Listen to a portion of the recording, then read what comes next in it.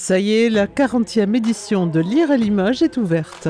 Plus de 200 auteurs et des visiteurs déjà accros aux livres. Lire à Limoges, c'est parti pour trois jours de fête.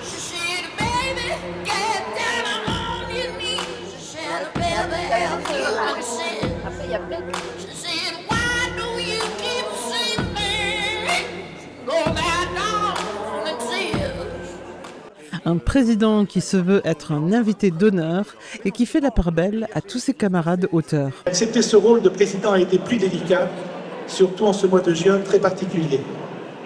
Mais ayant finalement accepté cet honneur et cette charge, je tenais à vous donner ma définition du président.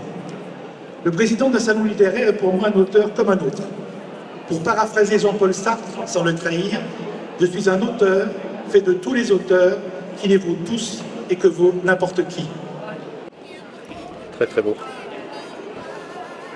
Quels sont vos choix habituellement? Euh, bah, pour les BD, pour les dédicaces, pour les rencontres avec les auteurs. euh,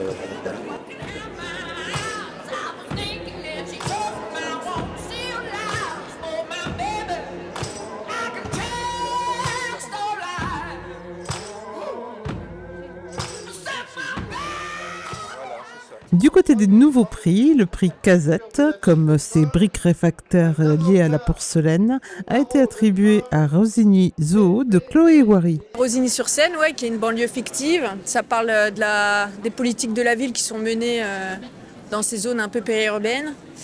Et oui, c'est vrai que le point de départ, c'est cette MJC qui est déconstruite, démolie par, euh, par la mairie. À la fois, ils perdent le lieu de leur adolescence, ils se retrouvent un peu à la rue, en tout cas pour euh, exercer des activités artistiques, culturelles, euh, sociales. Et donc ça va être un petit peu le déclic pour eux aussi, euh, de savoir un peu comment ils ont envie de se positionner. Ils vont tous rentrer en lutte en fait, mais chacun à leur rythme et chacun avec le bagage et l'héritage qu'ils portent en eux.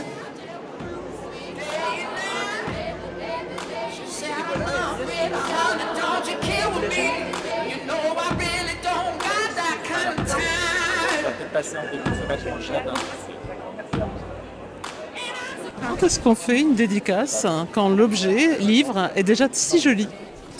On trouve des petites astuces, comme celle-là par exemple, sur ce petit chemin. Et comme le livre s'appelle Au risque d'un ailleurs, on chemine là-dessus avec la dédicace.